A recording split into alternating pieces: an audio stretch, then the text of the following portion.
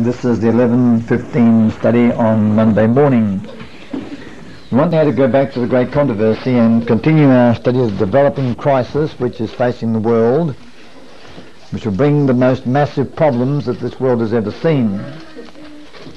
And there is an accumulation of trouble. So far, of course, we've been looking particularly at the the harvest of trouble which comes from the seed sowing of disobedience. They sow disobedience they reap disobedience. and disobedience, of course, means the proliferation of criminals and their work, uh, uh, terrorism, immorality, violence, and such like we see increasing today in the streets of the great cities.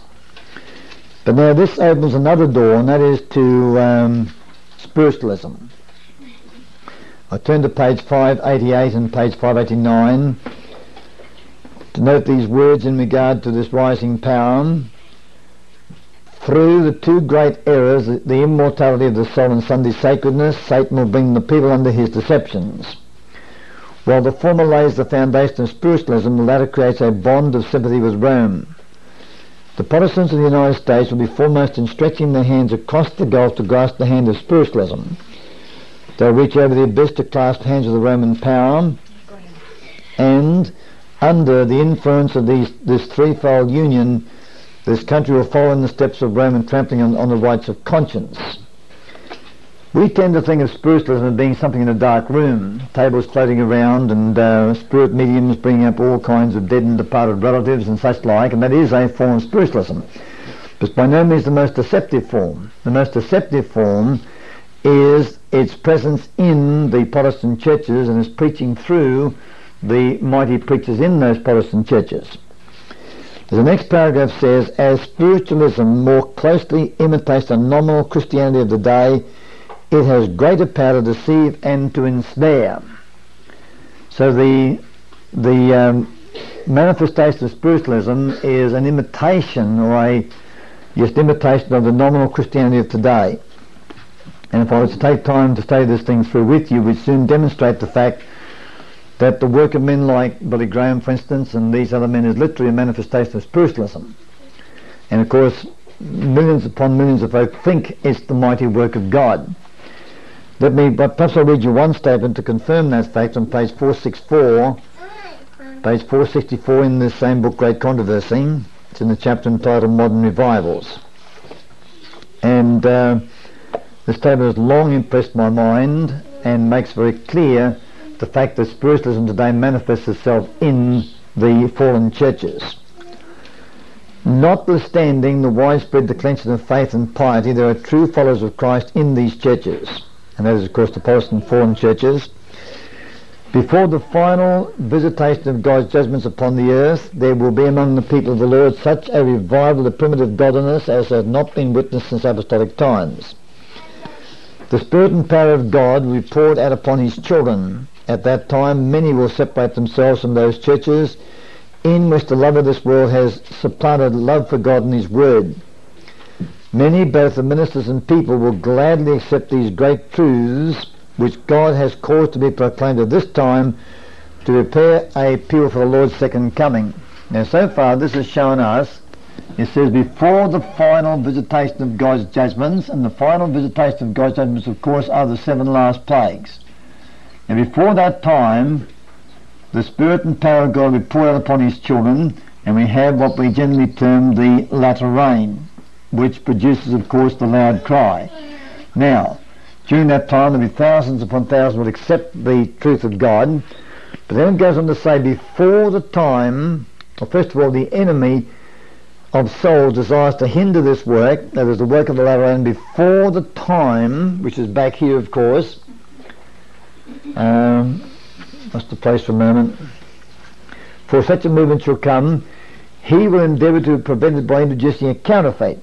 So back here then we have the false latter rain or the counterfeit latter rain.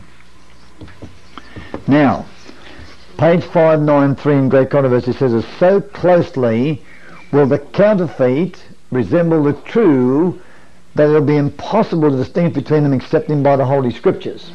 Right? Now I want now to go on to demonstrate the fact that this counterfeit is a manifestation of spiritualism. Let's read the next few words on page 464. In those churches which he can bring under his deceptive power, he will make it appear that God's special blessing is poured out. There will be manifest what is thought to be great religious interest.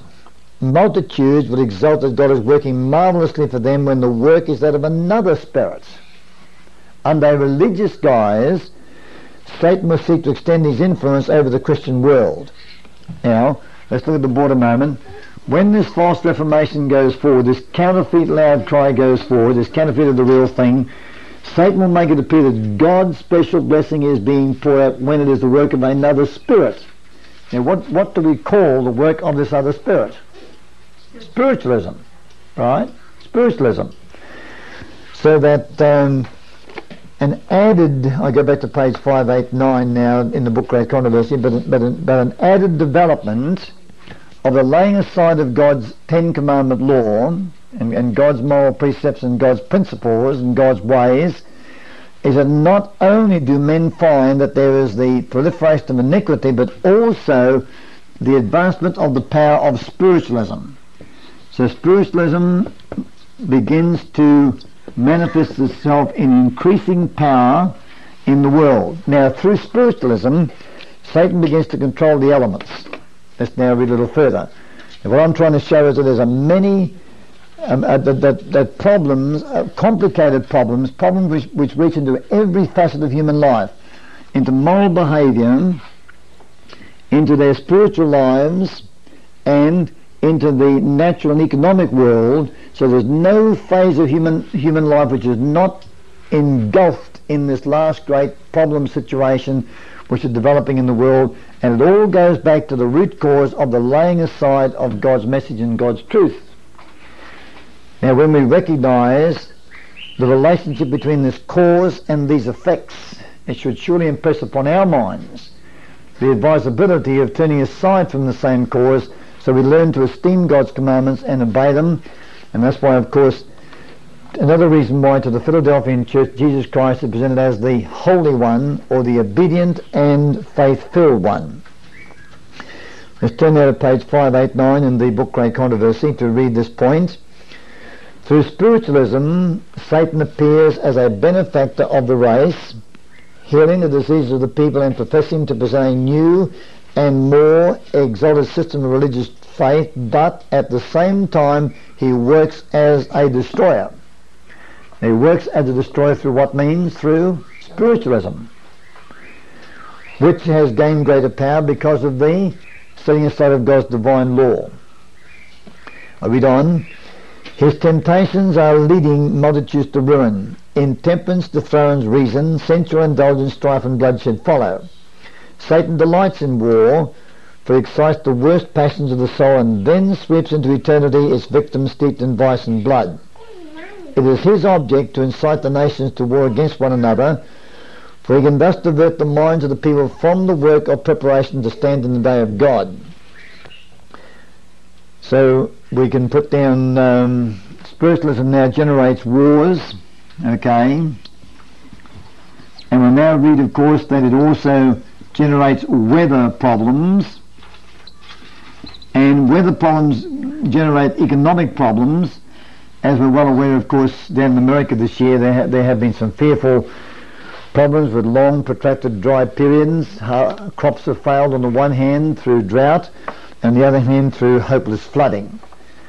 And um, so when we find the weather problems um, become significant, we have economic problems because the crops fail.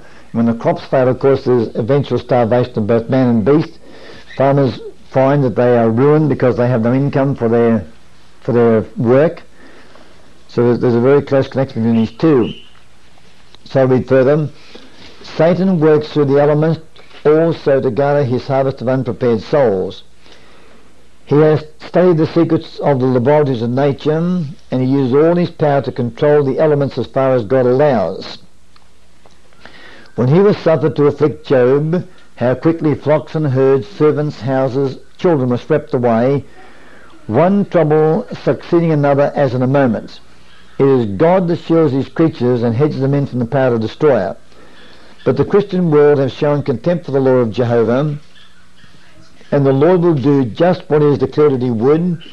He will withdraw his blessings from the earth and remove his protecting care from those who are rebelling against his law and teaching and forcing others to do the same. Satan has control of all whom God does not especially guard. He will favour and prosper some in order to finish further his own designs, and he will bring trouble upon others and lead them to believe that God that it is God who is afflicting them. While appearing to the children of men as a great physician who can heal all their maladies, he will bring disease and disaster until populous cities are reduced to ruin and desolation. Even now he is at work.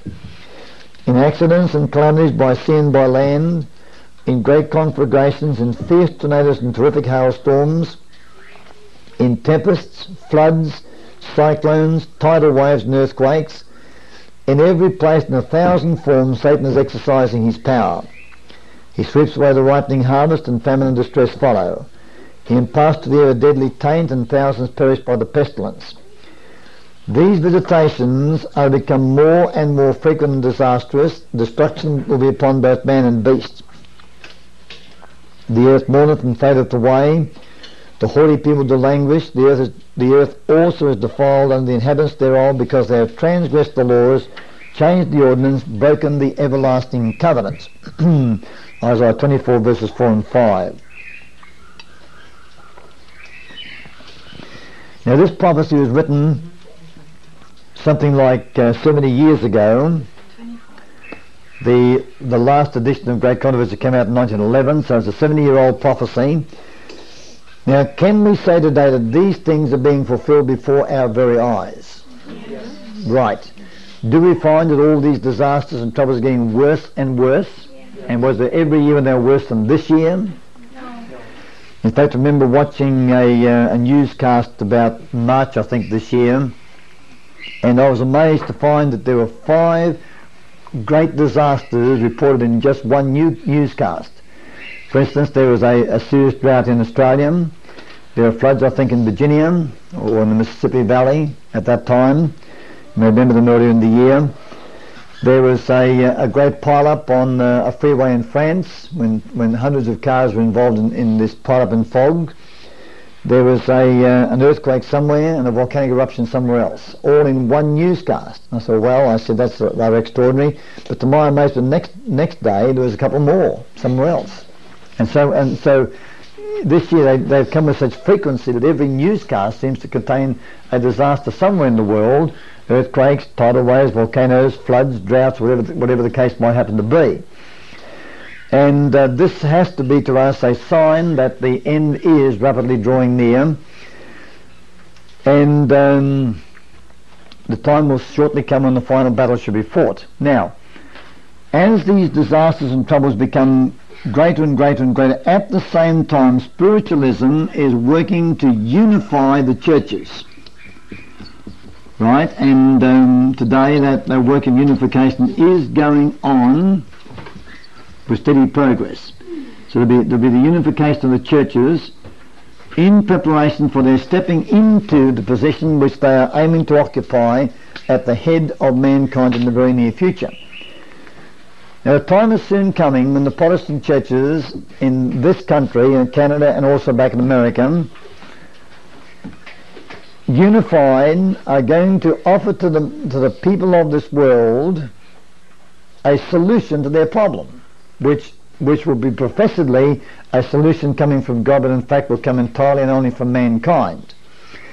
There's a parallel to this in the story of Jezebel and Ahab back in the Old Testament. Let's go to 1 Kings chapter 21 and um, let's see how the experience in which they passed back there is also a type of the final showdown between the um,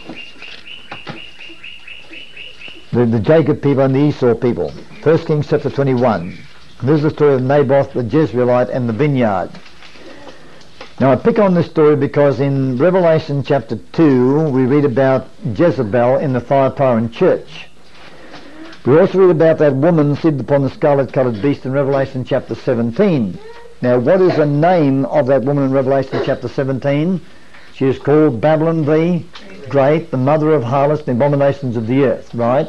That's what she's called. But we can also ask the question, what is her other name? What is her typical name?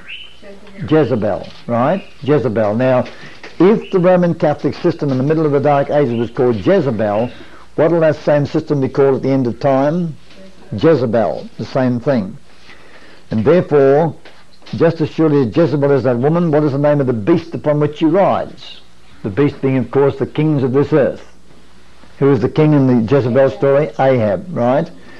So let's see, let's see Jezebel as being the queen who rides upon Ahab's back, or upon this beast in Revelation chapter 17. And then let's go back to the story in 1 Kings 21 to see how the type and the antitype meet and um, and coalesce in the last days of human history. 1 Kings 21 start with verse 1. And it came to pass after these things that Naboth the Jezreelite had a vineyard, which was in Jezreel, hard by the palace of Ahab king of Samaria. And Ahab spoke to Naboth, saying, Give me thy vineyard, that I may have it for a garden of herbs, because it is near unto my house. And I will give you a better vineyard for it, if it seem good to you. I will give you the worth of it in money.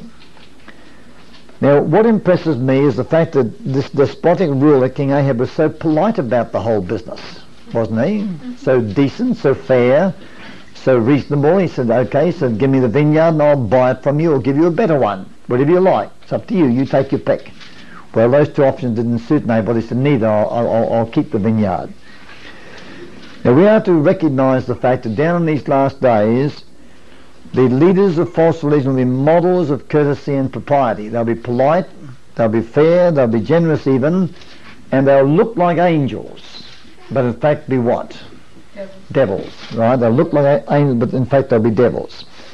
Now the reason why Naboth would not surrender his vineyard was not because he was being difficult, not because he was being selfish, but because there was a very, very clear-cut command from God that a that an inheritance was not to pass into the hands of another tribe, because if it did, of course, it would completely mess up the borders of Israel, and uh, you'd find, for instance, to be a little bit of um, Judah way over in the middle of Benjamin, or a bit of uh, Issachar way over in the middle of Naphtali, and very soon there'd be just such a such a mess that they wouldn't know where they were. And so Naboth was concerned with obeying God's commandments, and therefore he was a man who exhibited a certain degree of holiness. He obeyed the commands of God. He said, What are my orders? And his orders were not to sell the vineyard into another tribal possession. Therefore, Ahab, even though he was king, did not qualify to receive that vineyard. Now, as a result of this, Ahab found himself with a problem which he couldn't solve, right? He, he found himself with a problem which he could not solve. Now, in like manner, the political forces in these last days more and more are being uh, exposed, that's what I want, are being exposed as, as being inept at solving the problems that are developing in this world. Right? Much, so much so that the voters don't know what to do much anymore.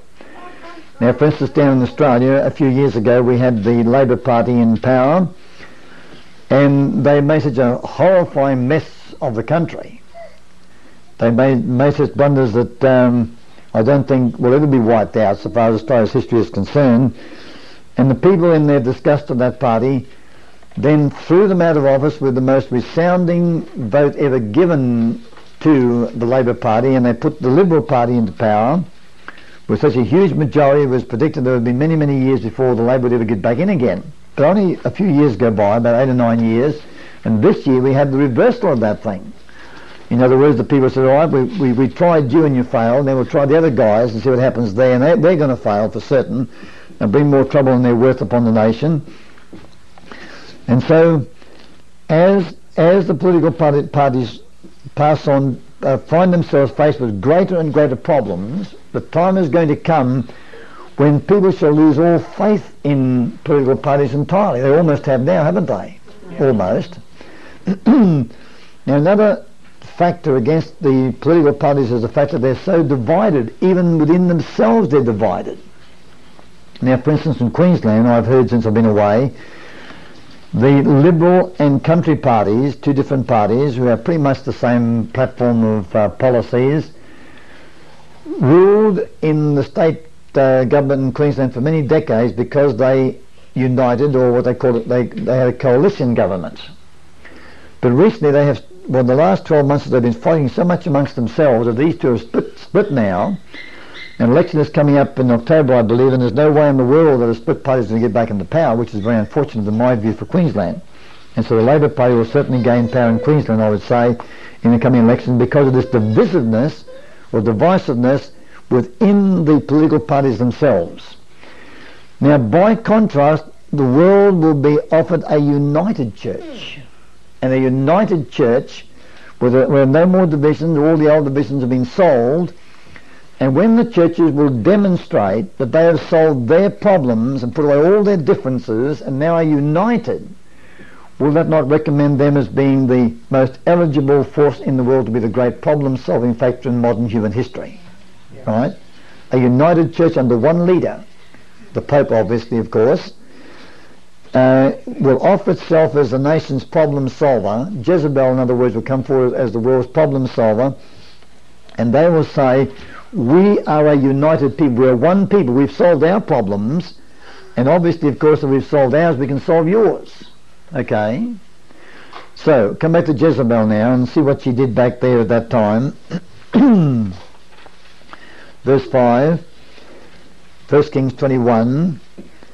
But Jezebel, his wife, came to him and said to him, Why is thy spirit so sad, and that thou canst not, that thou eatest no bread? And He said to her, Because I spake to Naboth the Jezreelite and said to him, Give me your vineyard for money, or else if it please you, I will give you another vineyard for it. And he answered, I will not give you my vineyard. So, uh, so Ahab said, I've got a problem I can't solve. Now remember, Ahab symbolized the kingship or politics. Okay? Let's put Ahab over here then.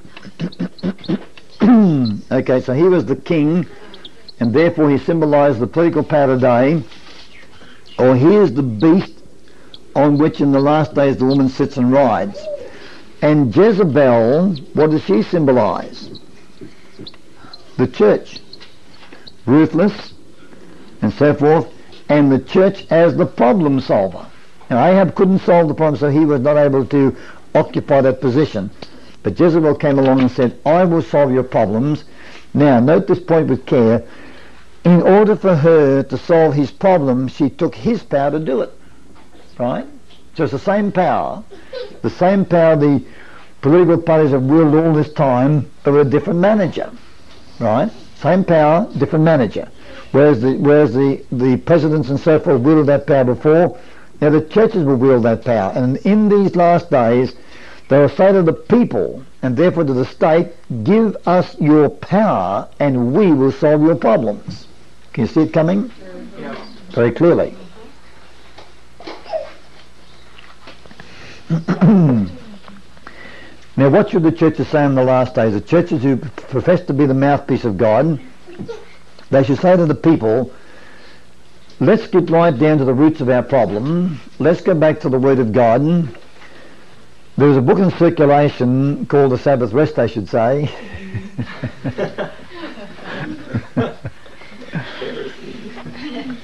and what they should say to the people is, pardon my little, my little, but that's quite seriously what they should say, by the way. They should take that book and print millions of copies and give it to all the people around the world saying, now live by this and we'll have no more problems. God will have them instead. Now, the, now the churches should say to the state and to the people, look, all this trouble we now have is caused by our rejection of truth when the gospel came to us back in 1843.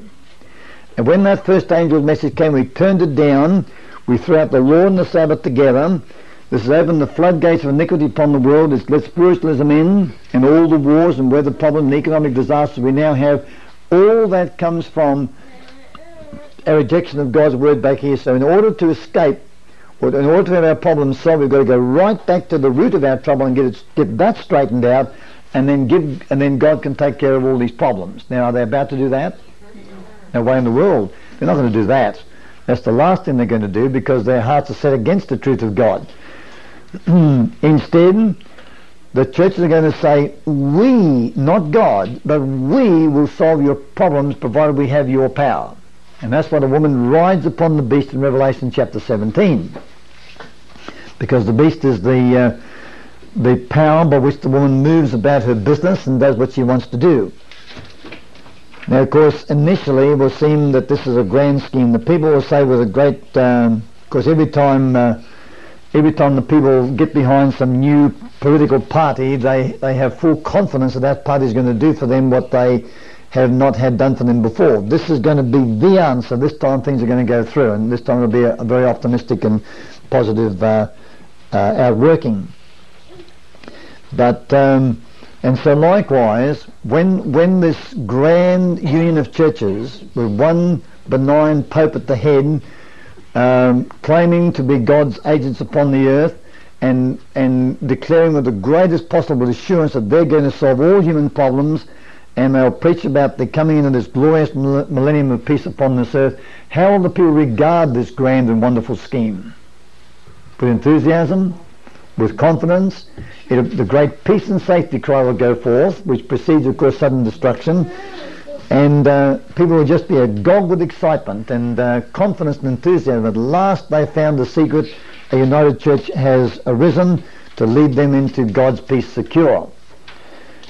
Now, will we, as God's people, knowing what we now know about the Sabbath rest principles, will we recognize in an instant the very the very certainty that this thing will lead not to solution but to even worse problems? Right? We'll understand the very nature of the scheme. We'll recognize that the the the, the uh, the evil foundations upon which it's laid, we recognise that men will not have learned from history the lessons of history, and knowing all the Sabbath rest principles, and being filled with the awesome power of God's Spirit, so our arguments become extremely powerful and skilled and penetrating, we rise up and we condemn that system from its top to its bottom, right, right to the very heart of it. We'll expose the whole thing. Now, when such an exposure takes place, thousands upon thousands of folk are going to recognise the truth of these arguments and they will remove their support from this great system. but what will the majority do? How will the majority regard us at that time? As a th- dangerous, a threat is the word I'm looking for. Dangerous is just as good. Heresy. Yes, heresy, but as a threat, that's the that's the important word. Because we're putting a stop to their plans. Well, but that's what Satan. That's one thing you said yesterday he fears most is a holy person that obeys God. Right, no question about that. now, the people will say "We've worked for a long time to come to this place. Uh, this is the culmination of all the efforts of 6,000, well, in their case, of course, they believe millions of years of human history, but they'll think that this is the culmination, this is the great enlightenment, the great um, renaissance, the great uh, emergence they'll think of this as being. At last they have arrived, they will say, and you stubborn stiff-necked little group of people down there are going to spoil the party. That they'll think, see.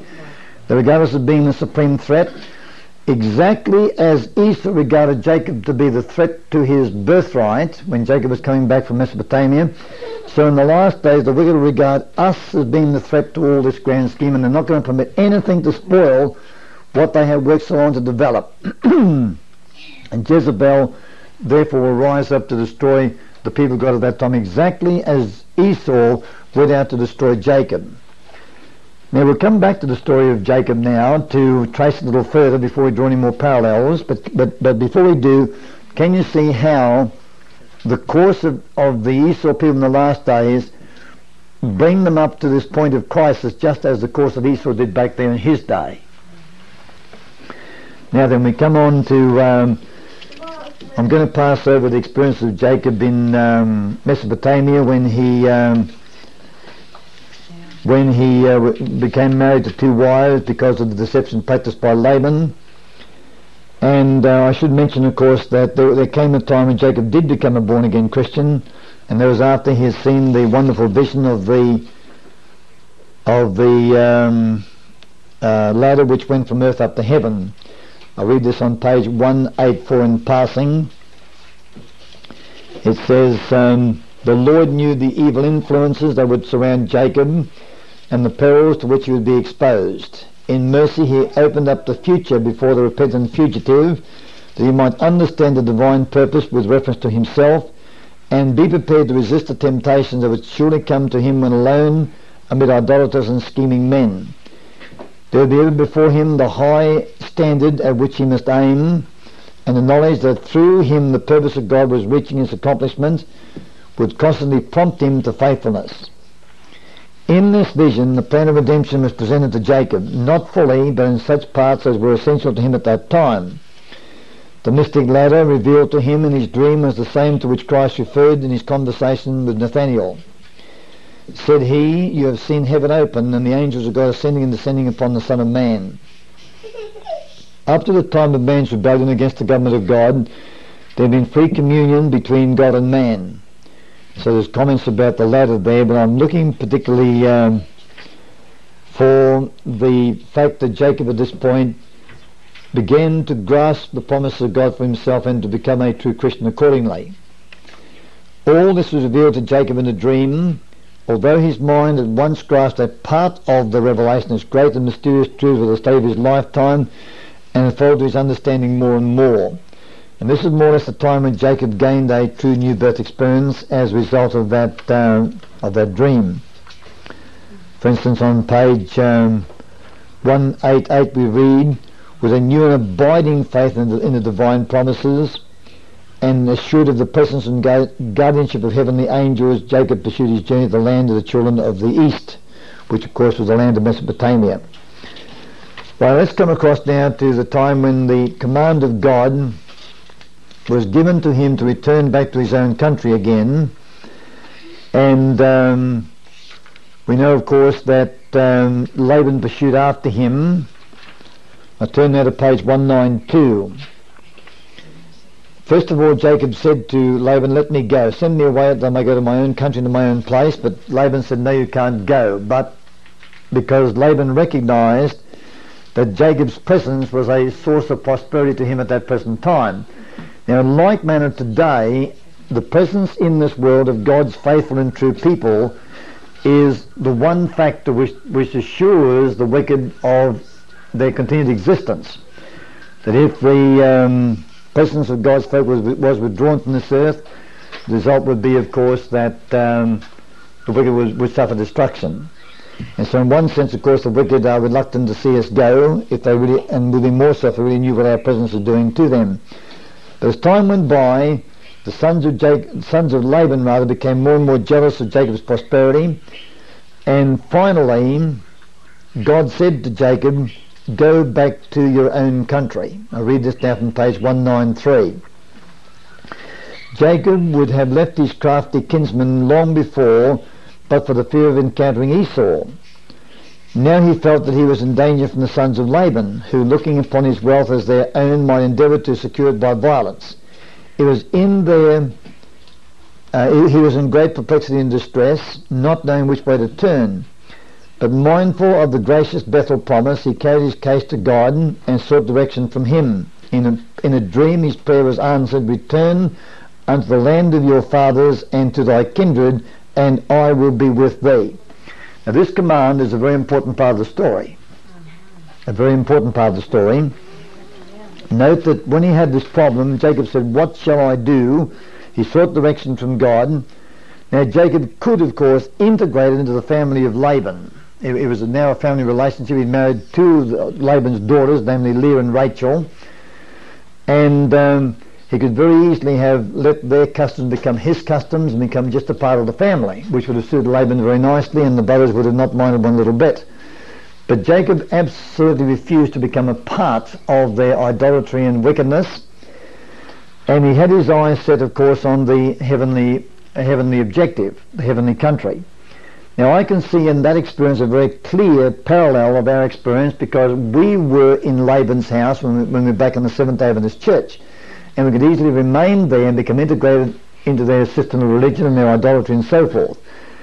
But we refused to be that and we went to God with our problem pleading for an answer to our difficulties and God gave us this message And this message was, one, a message of deliverance from sin, but was also a call to leave this world and get out, not get out, but, but, get, but to turn back on the heavenly journey toward the heavenly Canaan, right?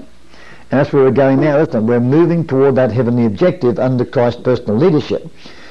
Now, when God gave to him the order, return to the land of your fathers, from that point on Jacob should have rested in the assurance that nothing could go wrong, that he would be brought safely and successfully to his own land again.